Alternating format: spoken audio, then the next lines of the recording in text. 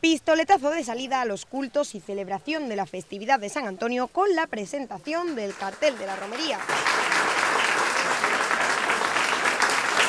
Así se da comienzo a unas semanas repletas de eventos que comenzarán el próximo martes. Vamos a bendecir la Casa de San Antonio, es una preciosidad como, como ha quedado y, que también va a estar para uso y disfrute de, de los ceutíes, siempre con la temática antoniana pues del lugar que, en el que estamos, como no puede ser de otra manera.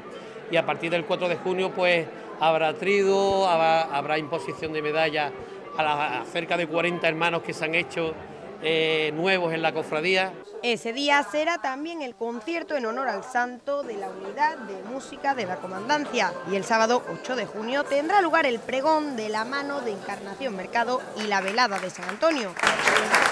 El día grande, el 13, se celebrará la tradicional romería.